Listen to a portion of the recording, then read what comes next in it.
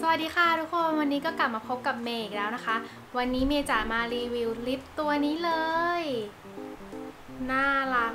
มากๆ Disney คูณ Baby Bright Happy Honey Mini Matte Lipstick นะคะ เป็นหมีพูห์กับพิกเล็ตอะ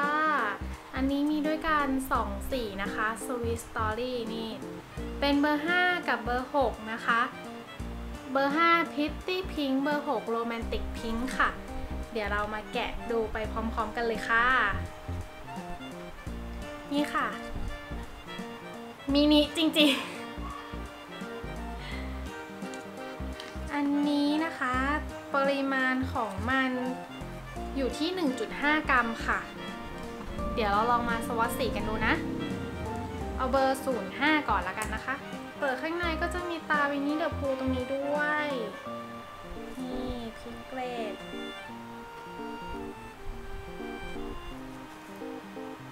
มีแค่นี้เองอะ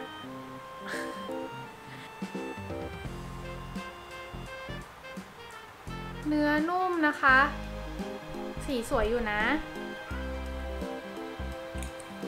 อันนี้อีกเบอร์หนึ่งอันนี้ 06 หมีภู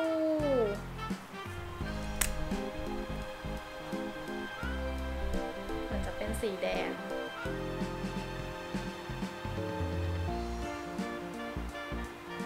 สวยอะ่ะ น่ารักจุง สีแบบอ่อนหวานเป็นพิงอ่อนหวานอะไรอย่างเงี้ย เออ เดี๋ยวมาลองที่ปากกันดูค่ะ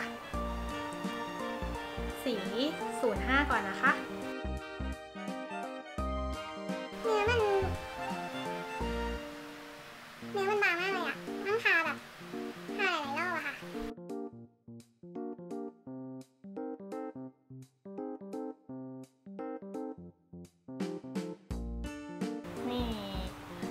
ดูชมพูหวานอะแบบพีชพีชนะคะ มันก็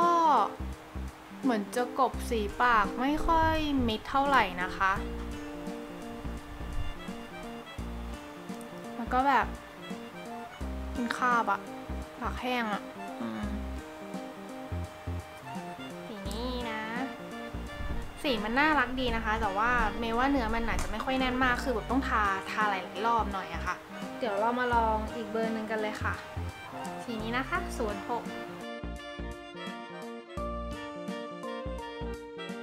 สีเข้มนี่สี06จะชัดกว่าสี05 นะคะ อาจจะด้วยความที่มันเข้มกว่าเม็ดสีมันเลยแบบ